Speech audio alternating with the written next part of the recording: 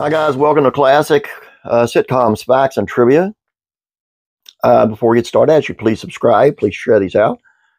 Uh, today's video is on Natalie Schafer, who played Lovey Howell on Gilligan's Island. And uh, just how rich was she in real life? Take a look. According to journalist Lauren Novak and Do You Remember, uh, when shows as big as Gilligan's Island play reruns for decades, you might think that the stars are really rich. Fortunately for the cast of Gilligan's Island, did not make much money off the reruns. Only one cast member was a millionaire in real life, and that was Natalie Schafer, who played Lovey Howell.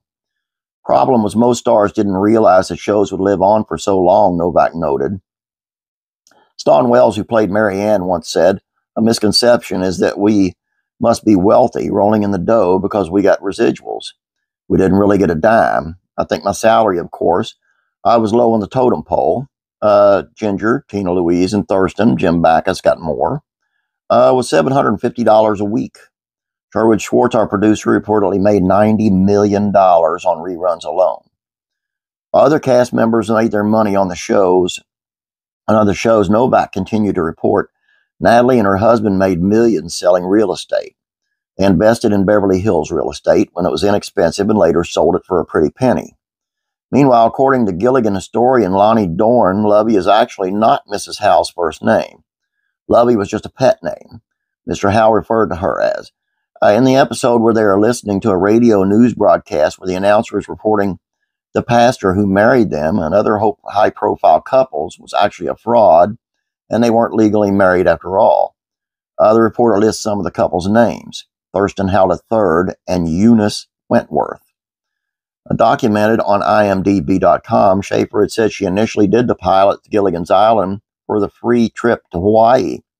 Afterwards, she was in Puerto Vallarta, Mexico, on a holiday when she got a telegram from the States.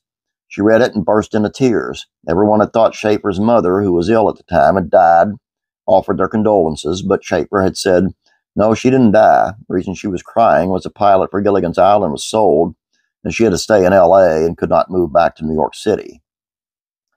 As IMDb um, documents, uh, Schafer was engaged to comedy act, character actor Charles Butterworth in 1946 at the time of his tragic death in a single automobile accident.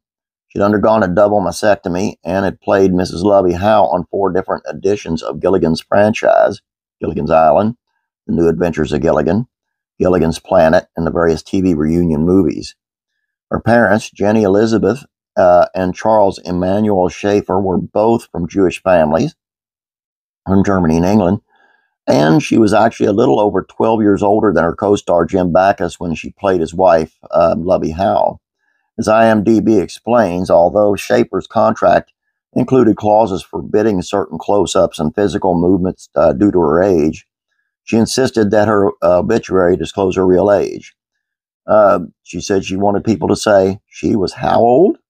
As fate would have it, Schafer was the first woman cast member of Gilligan's Island to pass away. As reported, Lauren Novak concluded on Do You Remember? When Schafer died in 91, she reportedly left a large amount of her money to her beloved poodle because she didn't have any children. When her poodle passed away, too, the rest of the money went to the motion picture and television hospital. Uh, they reportedly received millions and renamed a wing in her honor. Leaving money to a poodle. Uh, I'm just going to leave that right there. Um, hope you guys enjoyed this. Please don't forget about classic rock and country music facts and trivia. It's a really good one today. Head on over there and please subscribe while you're over there. And uh, have a great day. God bless you and be praying for you.